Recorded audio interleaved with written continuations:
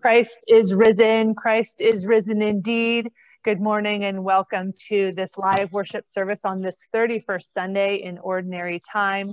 My name is Pastor Kelly Wadsworth, and I'm the transitional minister here at Alki UCC, an open and affirming community of faith carried by the Spirit until that day when the new heaven and new earth bring about all of God's people together in unity. If you are visiting this morning or returning after a time away, or if you are here for our All Saints Day remembrance and honoring the loss of a loved one, I want to warmly welcome you and thank you for choosing Alki as your spiritual place of practice this morning. This is work that we can't do alone and we need one another. We are streaming live from the sanctuary today, supported by our wonderful tech deacons, Bob and Shannon. Please keep yourselves muted throughout the service. We will have some opportunities to take yourselves off mute, so pay attention for those. The church handed out candle kits over the past couple of weeks. And so if you have one, it looks something like this. There's a candle and a base, and there is a call to worship included with it please go ahead and take those out now and we will light our candles here very shortly. It is a way for our own homes to become our sanctuaries, honoring the saints that have gone before us. And then keep those candle kits after today because we will reuse them again for our Christmas Eve service. Today is also a communion Sunday, so prepare as you are able a bread and a cup in your own space. Welcome to All Saints Day. In our early Christian tradition, Saints' Days began as a way to mark the anniversary of a martyr's death. So it is something of his or her saint birthday. By the middle of the first millennia, there were so many martyrs. However, it was hard to give them all their due. And so All Saints' Day was established as an opportunity to honor all of the saints, known and unknown and it has been celebrated on November 1st since 835. All Saints' Day is a time to rejoice in all who have gone through the ages and faithfully served. It is a day that reminds us that we are part of one continuing living communion of saints.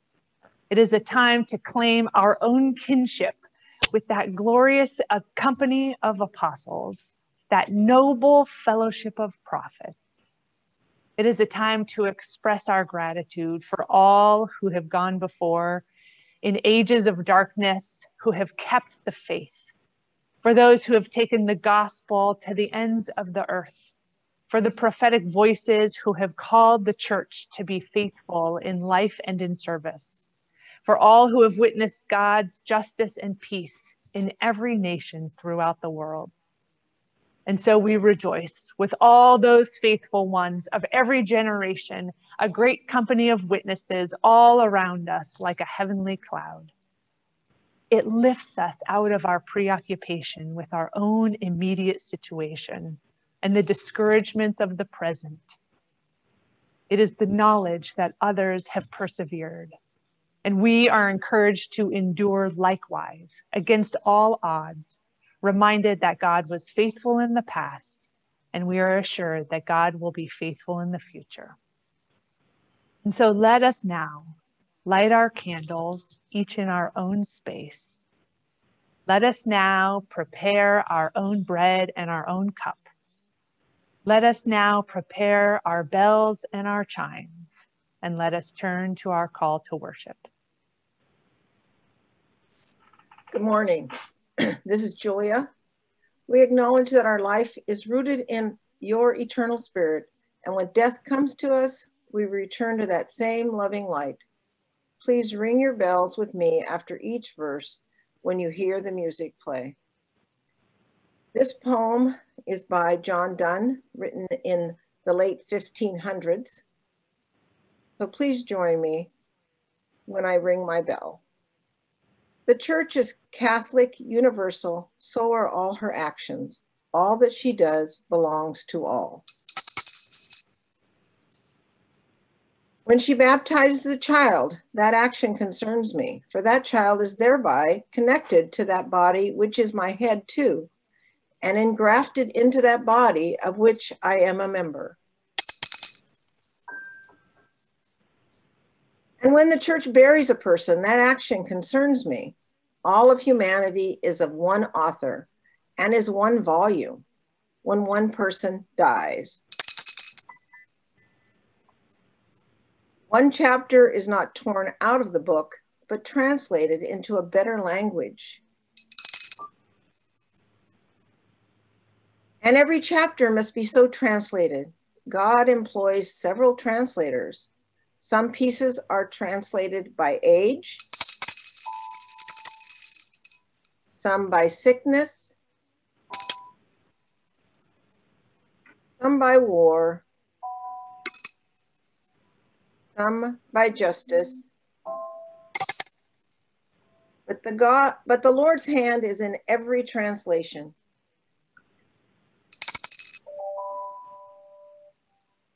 God's hands must bind up all our scattered leaves again for that library where every book shall lie open to one another. As therefore the bell that rings to a sermon calls not upon the preacher only, but upon the congregation to come. So this bell calls us all. No one is an island entire of itself.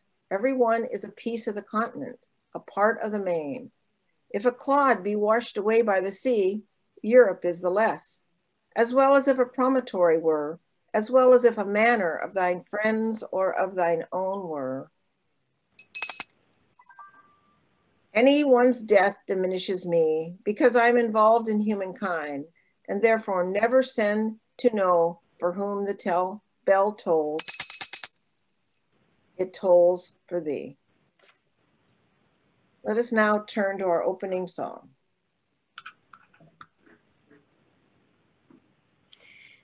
Please join me now in an upbeat, welcoming song. Oh, when the saints come marching in.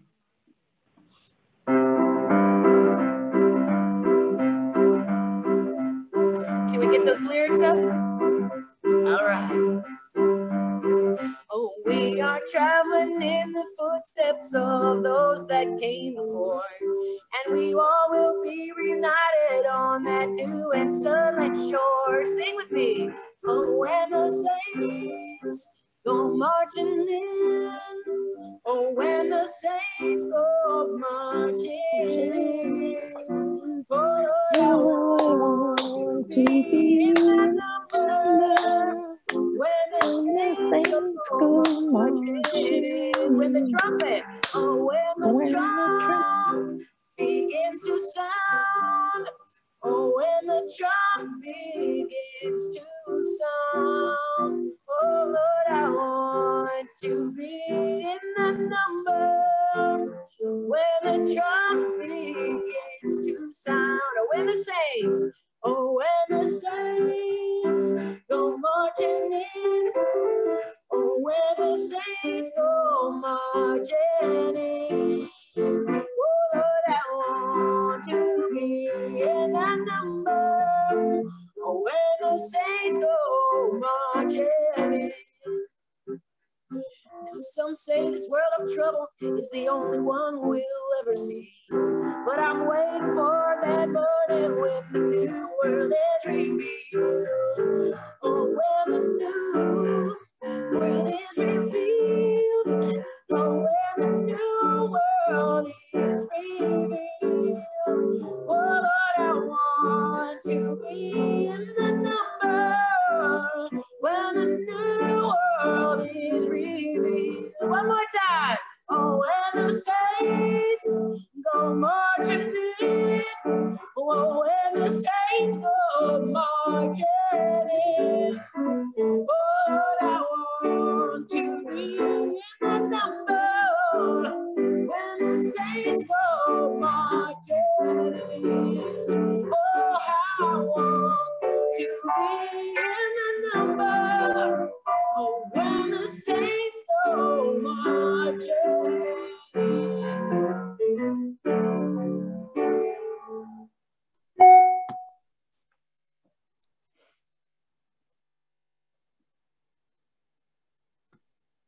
Scripture reading for today.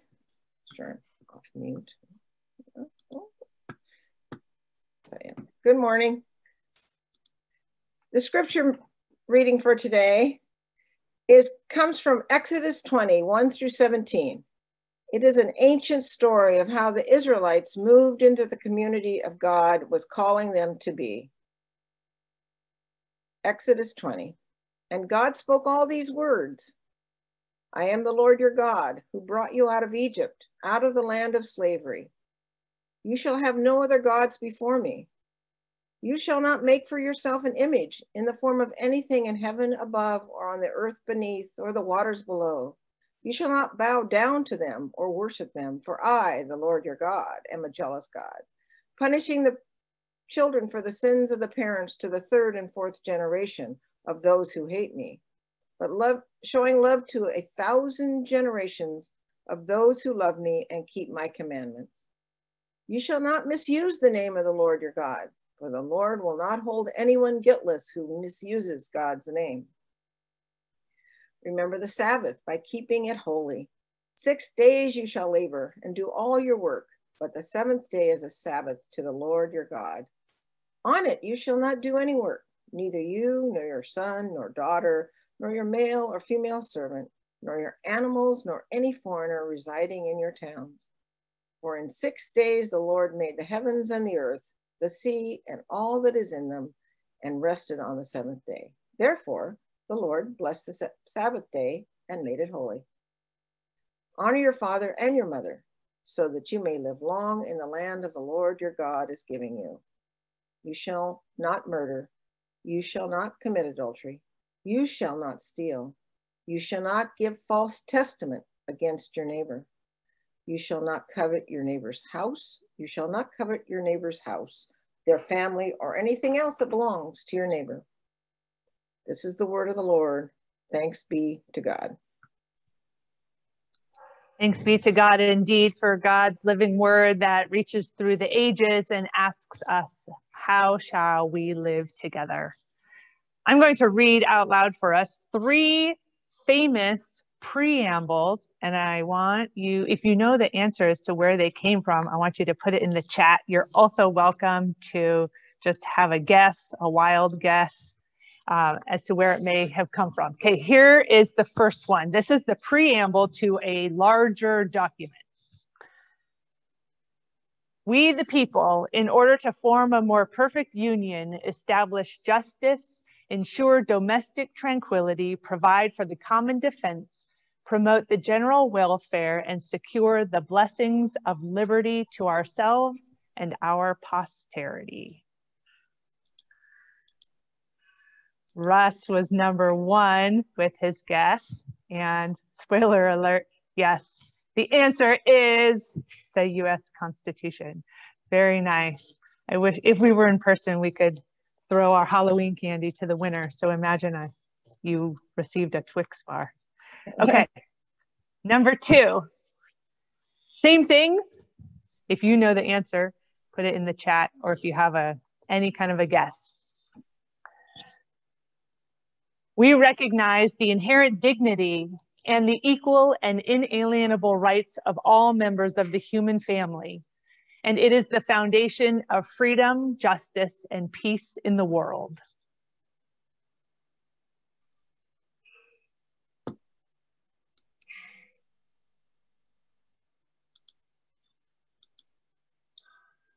It is one that is not as familiar.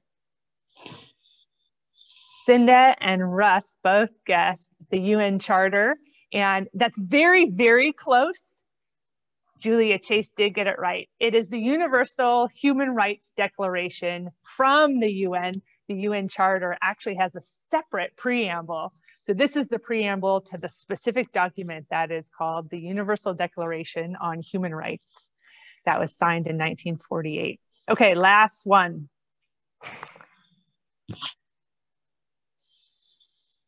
We, the people, grateful for divine guidance and mindful of our heritage and our uniqueness as this state, dedicate our efforts to fulfill our philosophy, which is decreed in our motto, Ua Mawa K A O Kai Ania I Pono. The life of the land is perpetuated in righteousness.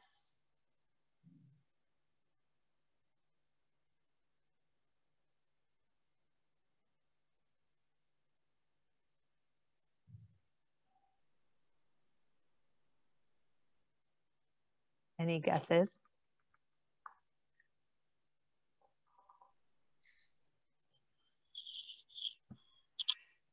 That is the preamble to the state constitution for the state of Hawaii. And so they they utilize um, Hawaiian in their state constitution, and I love how it is translated. Their motto is translated: "The life of the land is perpetuated in righteousness." A lovely way to put it.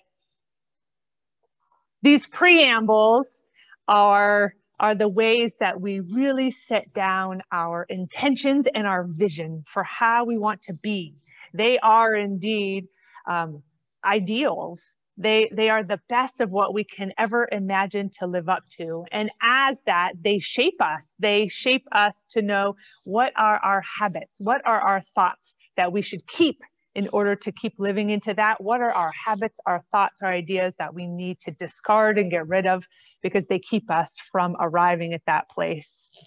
And the Ten Commandments, which Julia read today, are very much like the preamble for all of Israel's work together. It starts off before it even gets to the first commandment, it starts off with something of a preamble to the preamble. And it starts off God spoke all these words I am God, your God, who brought you out of the land of Egypt, out of a life of slavery. That's the preamble. It will be a preamble that's going to show up in the prophets, in later books in the Old Testament. It's going to show up as Jesus wrestles with his own day and age. It shows up over and over that this is the foundational work that in order to achieve freedom, we have to remember where we have come from and remember what it's like to not have it. If you are just joining us, we have been in the book of Exodus for a number of weeks and we are nearing the end because the Ten Commandments are part of the culmination of the Israelites' work. They had reached a place in their life in Egypt where it was no longer tolerable. And so they left through a series of plagues, through the leadership of Moses. They departed. It was not a simple or an easy departure. There was something of a military battle. They had to travel. They, they were not sure of their own survival. They arrived in the wilderness, which was a desert like scenario. And in that desert, they had to unlearn the habits of oppression. What's sobering is that it took them a generation. And it would be the ones who were born in the desert, in the wilderness, who would lead them into the promised land. They had to shed themselves of the habits of getting ahead by stepping on one another. They had to be retrained they had these experiences. One was manna, and that was that was a lesson in gathering enough for the day, but not storing up more than one needs. So it was a foundational piece about how does everyone in this community be provided for and how do we make sure that everyone has what they need. There was another case where with a similar issue with water, then they had a third fairly important trial where Moses, who had been leading them all along, was working on these 10 commandments, was up on a mountain, was communing with God, was really working through what their foundation was going to be as a people. And the people said it's taking too long. We're, we're not going to do it. We're, we're not going to go that direction. We know we left slavery, but we think we might die in the desert. We think it might just be better to not to, to stop the pursuit of these far off ideals, and it might just be better to cut our losses and stick here. And so, in that, there was a case of a golden calf. It was an idol. It, it was the temptation of wanting to st stop too soon and say it can't be done. The the the community that we want can't be done. So we're going to stop short and we're going to go with what we've got. Moses getting is in the process of etching these 10 commandments into stone. And so he comes down and sees this golden calf situation and he's angry. He's like well we've come so far so let's not give up now. So these 10 commandments this is a turning point. They've left egypt. They've arrived in the desert. They've done the desert work They've done their wilderness tasks. They've been there for years. It's been a generation. They've worked out of their system some of their habits from oppression, and they have now begun to craft a positive vision forward, not just a not Egypt or a not oppression vision forward, but now that this is the first time they've got a real solid grasp of what is the thing that we are trying to do? What is the community that God is calling us to be? And so this is where we encounter them today. And this is where we will stay for this week and next week. And then it'll be the People's Liturgy, the third Sunday in November. So we're going to stay here because this is a foundational document that is an important one. Um, it's not important in that it's it's exactly something that can never be changed but it is the product of the ethical work of the people, taking what they have learned and putting it into play so that they might find a better way to be together, that they might be able to live into their spirit into which God calls them to be. When we look at these 10 commandments, they've got this preamble that I just read that you shall have I am the Lord your God who brought you out of the land of Egypt and out of a life of slavery. Full stop. That is going to be the spirit and the ethos and the morality that is going to guide them. That they remember what it's like to not have freedom, to not be a community that is united, to not take care of one another. They're going to remember what that's like so that they can know that what they have and what they are building is worthwhile, that it is indeed a call from God. When we get into the 10 commandments themselves, there's a couple different ways we can understand them. There's eight of them that are written originally in a negative form, like a don't do this. And then there's two of them that are written in a do this. There's another way to remember them. And the first four are something of God oriented commandments. And then five, numbers five through 10 are more how do we relate to one another? And as that, in these commandments, they're not designed for the private welfare of the citizens, although that is a piece of what happens when the community itself is healthy. It is designed for the health of the whole community. The commandments themselves focus on the outer limits of our conduct and our behavior rather than the real specifics. There will be a time and a place for real specific laws that Israel will come up and craft and, and address the specific kinds of challenges that come her way. But this is still, we're still in preamble land. So this is a statement on how we live together well. I hope this week you'll get a chance to read over it a few times because it's a pretty powerful understanding. Like they they they grasp a lot about human nature. There's a way that the purpose of it is so that humanity might live fully into what she was designed to be. It's not meant to be restrictive rules, it's actually meant to be a source of freedom so that we can become that which we are designed to become. There's a number of modern situations that it does not necessarily address well, but it was never meant to be a closed canon. It was meant to be an open document that guides and shapes us throughout the ages. Numbers one through four You shall have no other gods. You shall not make any idols. You shall not misuse the name of the Lord, and you shall remember the Sabbath and keep it holy. Those are all the ways that we orient ourselves to the holy and to the sacred. And when we do that, we then set ourselves on a path of continued growth, continued maturity, and our development continues along because we are oriented in that way. Numbers five through 10 become some real specifics in how we relate to one another. Honor your father and your mother. Do not commit murder.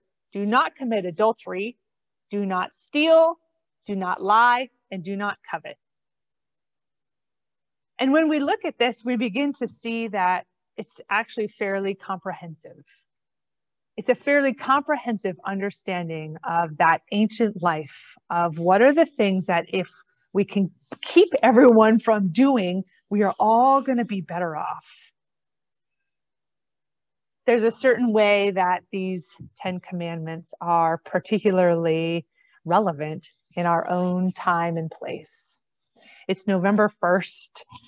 If you haven't experienced some of the current cultural anxiety that we're all living in, some of the stress, some of the pressure of this upcoming Tuesday and the election day, um, then I have to tell you I am envious because I feel it every time I open the paper, every time I turn on the news.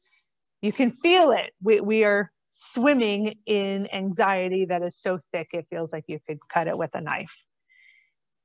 What if we take some time to remember that our preamble, our most original and authentic allegiance is to our spiritual tradition and the spiritual preamble of the 10 commandments that that is our original shaping and that is our original formation of the community that we understand and we are trying to be that I am the Lord your God who brought you out of the land of slavery. How might we translate that today?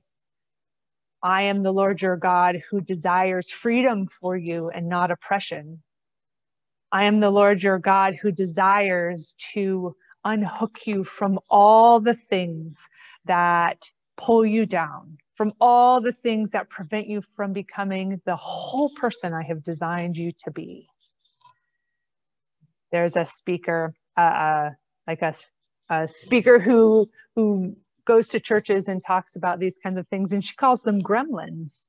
Uh, there are these gremlins that come into our lives, and that is the source. Sometimes that is the source of some of our internal oppression that we allow voices to tell us things that are not true and just not not true but prevent us from a life of fullness and a life of freedom so let us mark today as a day where our preamble, our foundational document starts with I am the Lord your God who has freed you and desires to continue freeing you and bringing you out of those places where you are oppressed. Alleluia and Amen. Alleluia and Amen.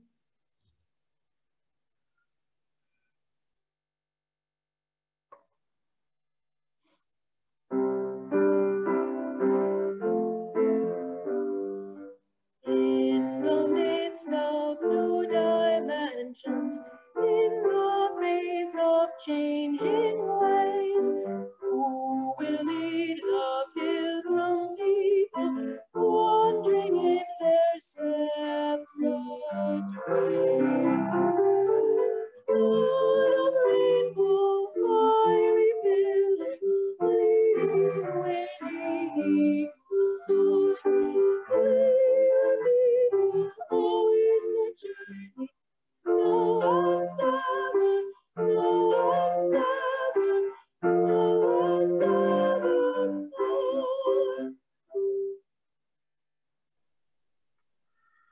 Let us now prepare our hearts and turn our attention to our remembrance for our saints. Please pray with me.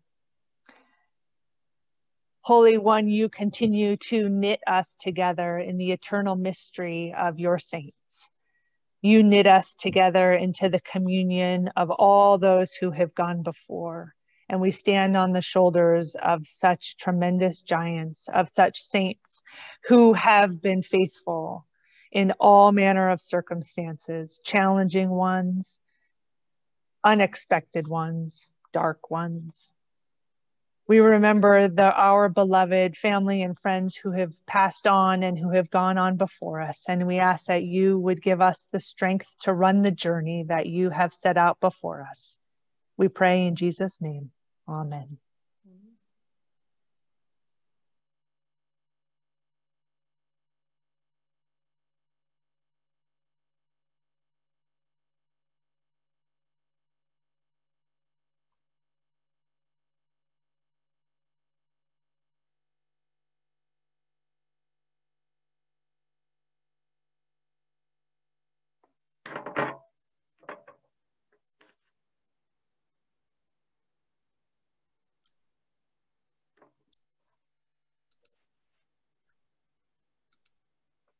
This poem by Marjorie Wentworth. Whether it is morning, the sunlight is peeping through overlapping oak branches bursting with bright leaves, or late in the day after rain has fallen and the scent of spring splashes across the washed sky, emptied of clouds. And hoping you have arrived at this sanctuary where the locked church door is never closed to anyone. Step into the circle of grace woven from many threads that bind us across time and place. Let us warm, mourn together the thousands upon thousands who have perished, so many alone, so many afraid. So far from the people they loved most. Perhaps you or someone you know, cousin, co-worker, neighbor, or friend. 100,000 stories left to tell. 100,000 voices suddenly silent. 100,000 names etched on the altars of our hearts. Our grief is collective, tear stained and bright, blue like a wound for the wind, wrapping itself around you as you step back into the world the names of the lost are tumbling through the sky. Amen.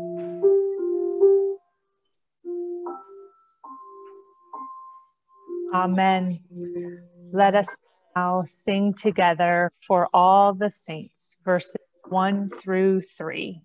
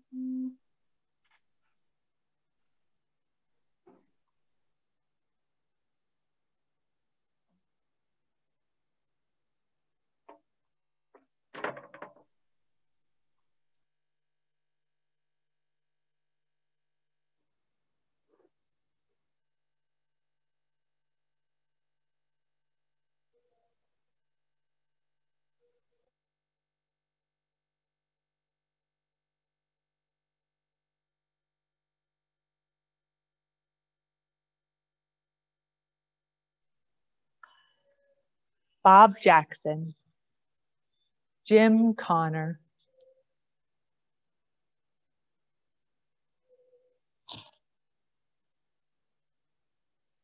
Nancy K. Van Wyck,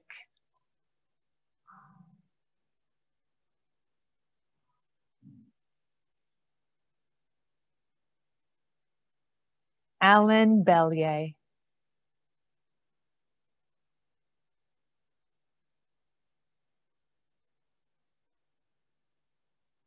Nina Hughes.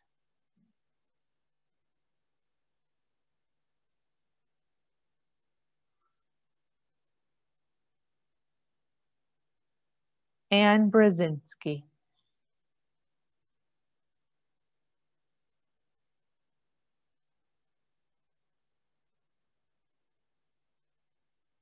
Diane Pietro D'Angelo.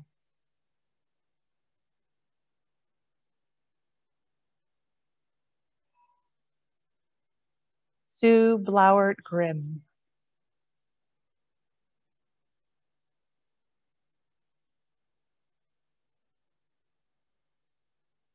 Virginia Cooper.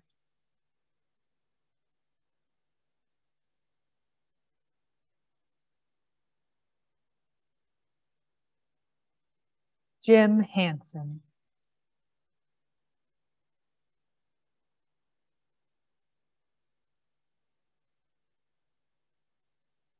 Russell Nolte.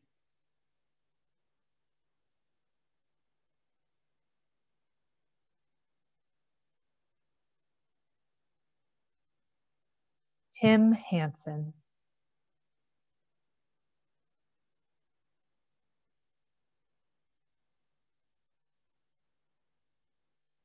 Joyce Palmer.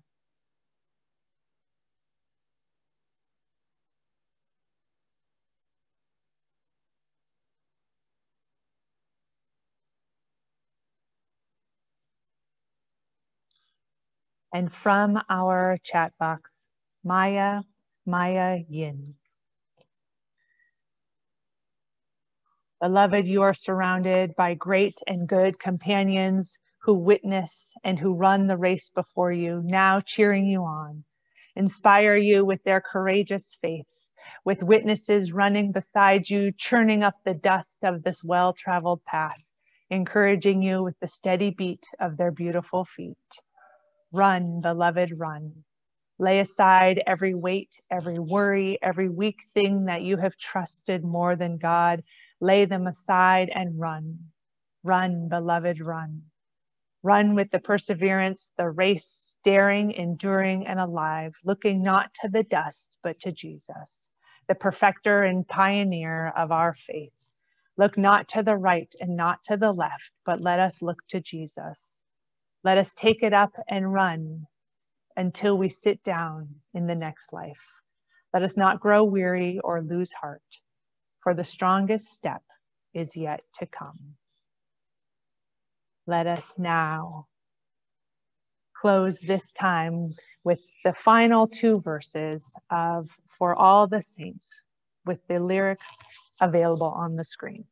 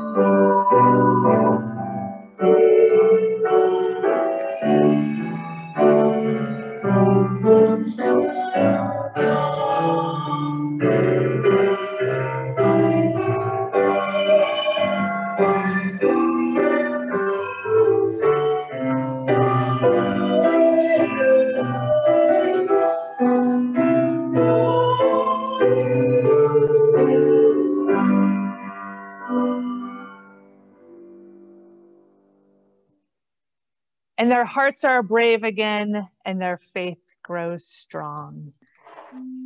Let us turn to our communion, one of our practices, one of our rituals that a very core element of it is that it connects us to a world that is so much bigger than us. It connects us not just to the layers of spirit and the layers of sacred in our own lives, but it connects us through all the saints of history and all those who will come, to whom we one day will all pass the baton. God of surprises, you call us from the narrowest of our traditions to new ways of being church, from captives of our culture to creative witnesses for justice, from the smallness of our horizons to the bigness of your vision. Clear the way in us, your people, that we, we might call others to freedom and be renewed in our faith. Jesus, wounded healer, call us from the preoccupation with our own histories and our own hurts to the daily task of peacemaking, to the daily task of partnership and pilgrimage to inclusive community, clear the way in us that we might call others to wholeness and to integrity. Holy transforming spirit, you call us to faithfulness, from clutter to clarity, from desire to control to a deeper trust, from the refusal to love to a readiness to risk. Clear the way in us, your people, that we might know your beauty and your power from the gospel that you have given us.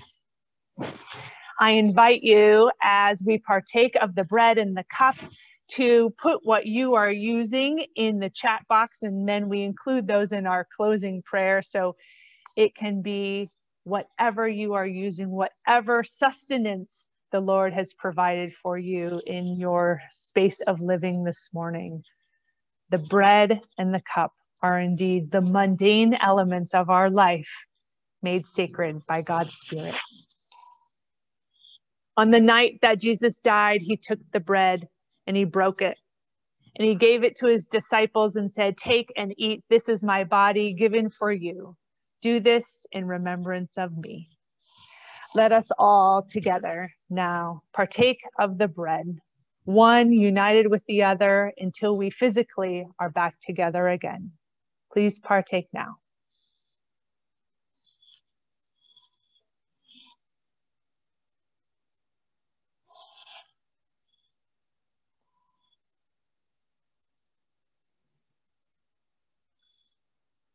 In the same way, he took the cup and he poured it out and he said, This is the cup of the new covenant. Whenever you do this, do this in remembrance of me. Sisters and brothers, whatever the cup may be in your own space today, it may be something common, it may be something you've had around for a long time, but let it be something sacred, that that is indeed how the Spirit comes to us through our lives, through the day to day parts of our lives. Let us partake together.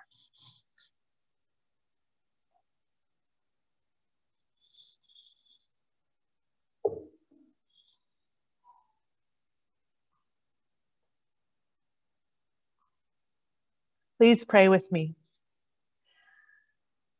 May the Lord make sacred this morning a cracker, a Triscuit, and a cookie, coffee and water, sourdough bread and apple juice, Ritz crackers, apple cranberry juice, pumpkin spice biscuits and white wine, water and protein bars, pomegranate juice and water crackers, plum cake and tea, red wine and Belvita, coffee, bread, toasted Hawaiian bagel and orange juice, orange glazed cinnamon roll and pomegranate juice, gluten-free, dairy-free crackers with red wine, and multigrain crackers with chai tea. The common elements of our life. But they become very uncommon when the deepest spirit touches them and allows us to see through them into the deeper layers of the ways that we are called to be a spirit people. The ways that after it all, we indeed are a unified people, not just with one another, but with all those on this planet that we live in together. We pray in Jesus' name. Amen.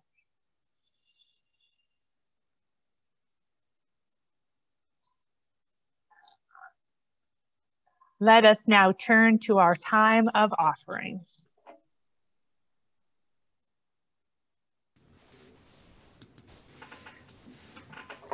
Our mission is to engage.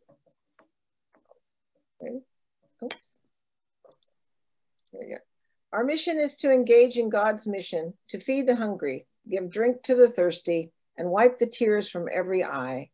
This accomplished this is accomplished through our gifts of time, talent, and treasure. Give generously so that God's will might be done on earth as it is in heaven. Please donate, donate generously through the PayPal link on the website, through a mail donation to the church office, or through text to give by texting Alki UCC to 44321, and a donation link will come back to you. Your support for Alki is part of a living and thriving heritage as the church embraces her third act and is the place where we find our spiritual nurture and home.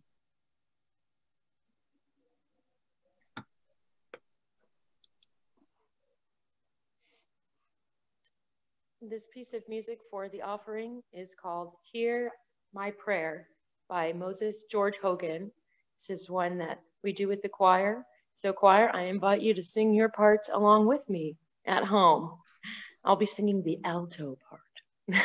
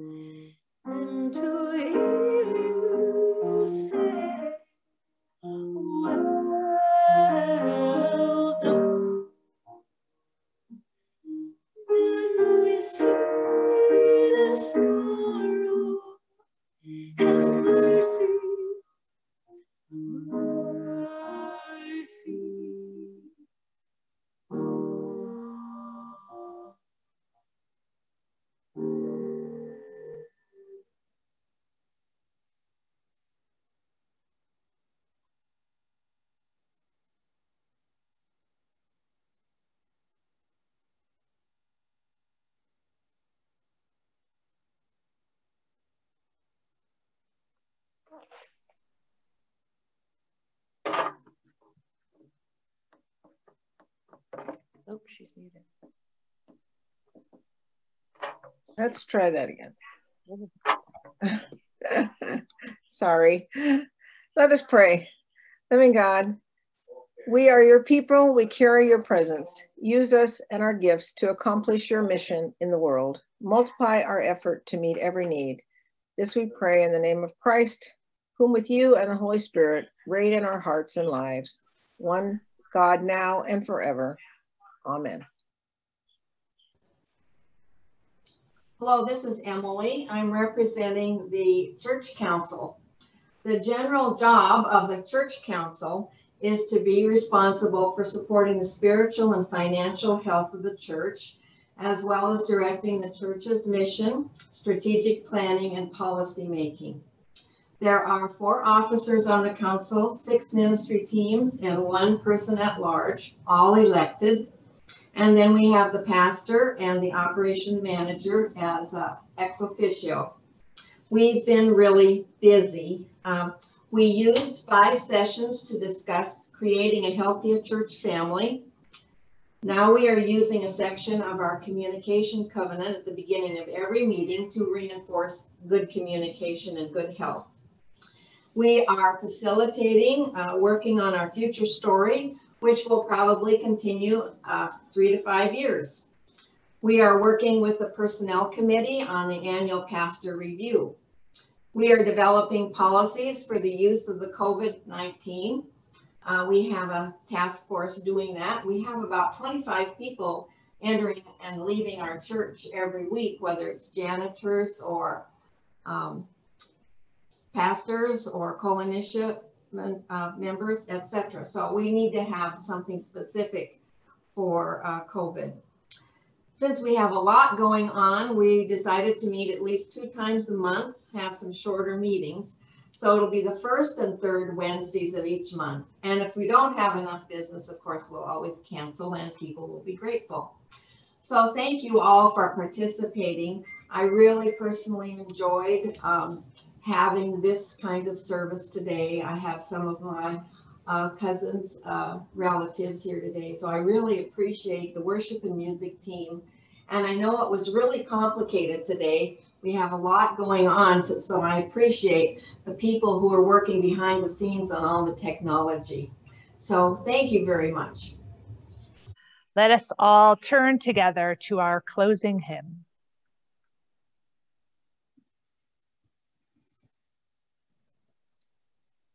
Hi there, everyone. This is Kim. Um, I'm really pleased to be able to introduce Spirit in the Sky. Um, this is actually written into my will that I did about 15 years ago. And the reason why, and uh, because it's a celebratory song, it truly is. Um, we move from one dimension to the next. And I love Norman Greenbaum. But there's a story behind this. When I was starting off my career working in Olympia, when I was in my mid 20s, I had what my best friend Judy calls a God wink. And I was sitting at Fuji Teriyaki in downtown oh. Olympia having yummy, yummy Japanese food. and this came on. And I, it was something that uh, I had heard, of course, growing up. And I, it was just, I don't know what it was, but I felt this profound sense that God was with me and that I was going to be okay. And that when I died, that I wanted to go to the spirit in the sky. I, I just, I, it was a, you know, I've only had three experiences in my life that were really profound. Um, the most recent one was December 3rd, 2017, when I walked into Alki. It was the same kind of profound feeling. So it's with great joy in my heart and celebration of those who have gone before us that um, sing this song together. Thank you. Thank you so much, Kim. It was a beautiful introduction. All right, I'm going to try to cover all the bases of the band here. All right, sing with me, spirit in the sky.